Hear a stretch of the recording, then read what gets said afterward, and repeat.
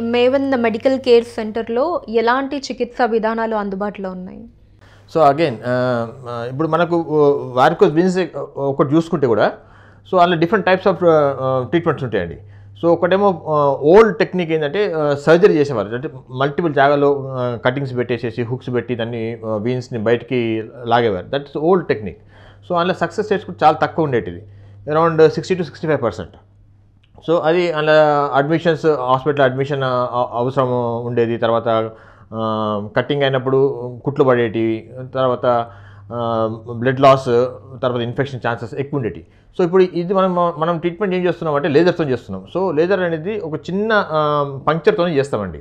So ఎక్కడ cutting ఉండదు మీకు ఎక్కడ సూచరింగ్ ఉండదు. ప్లస్ డే కేర్ అంటే సాయంత్రం వరకు మీరు పేషెంట్ నడుచుకుంటూ వెళ్ళిపోవచ్చు అండి so this is speciality so అదే కాకుండా ఇప్పుడు మనకు లేజర్లో కూడా డిఫరెంట్ టైప్స్ ఆఫ్ లేజర్స్ ఉంటాయండి. సో మనం మన దగ్గర అంటే exclusive centre I can proudly say first centre in whole of India అని చెప్పొచ్చు. Which has got a laser which or which has got a radio frequency ablation and which has got a microwave ablation also అదే కాకుండా glue అంటుంది glue కూడా మనం offer చేస్తాము. కానీ అదేంటంటే బ్లూలో కొద్దిగా cost of treatment is very high అండి. మన ఇండియన్ కండిషన్స్లో ఎఫోర్డబుల్ కొద్దిగా కాకపోవచ్చు.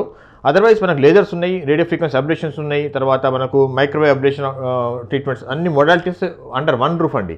I don't think any centre in whole of India has in ఇన్ని modalities of treatment for varicose veins అలానే రాజేష్ గారు వెరికోస్ వీన్స్కి మేవెన్ కేర్ సెంటర్ అన్నది ఒక ప్రత్యేక సెంటర్ అనే పేరు వచ్చింది అది ఎలా సాధ్యం అయింది అండ్ వై ఎందుకు వెరికోస్ వీన్స్కి మేవెన్ డే కేర్ సెంటర్ అన్నది ఒక ప్రత్యేక centre. Yeah when we started ఒక టూ థౌజండ్ టెన్ లెవెన్లో స్టార్ట్ చేసినప్పుడు ఇది వారికోస్ వీన్స్కు ఒక ఎక్స్క్లూజివ్లీ వార్ లేజర్ సెంటర్ అనేది ఎక్కడ లేకుండే. సో మాకు కూడా ఫస్ట్ ఇనిషియల్లీ మేము స్టార్ట్ చేసినప్పుడు అవేర్నెస్ పబ్లిక్లో కూడా అవేర్నెస్ లేకుండే తర్వాత ఈవెన్ రిఫరింగ్ ఫిజిషియన్స్ దగ్గర కూడా ఈ అవేర్నెస్ అంటే ఒక ట్రీట్మెంట్ ఒక లేజర్ ఉంది వ్యార్కోస్కు డే కేర్లో చేసుకోవచ్చు అని అవేర్నెస్ చాలా మందికి లేకుండే.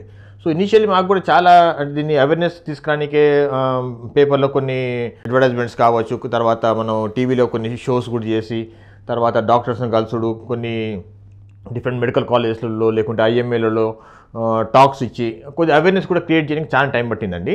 So initially first three four years కొద్దిగా డిఫికల్టీ ఉండే మాకు కూడా. తర్వాత అది టెక్నిక్ కూడా ఎవాల్వ్ అయిందండి. ఫస్ట్లో మేము ఎట్లా మా సక్సెస్ రేట్స్ ఎంత ఎంత ఉండేదో ఇప్పటికీ చూస్తే చాలా తేడా ఉందండి. ఎందుకంటే ఇనీషియల్ టెక్నిక్స్ కొద్దిగా డిఫరెంట్ ఉంటే తర్వాత లేజర్స్ కూడా చేంజ్ అయిపోయినాయి.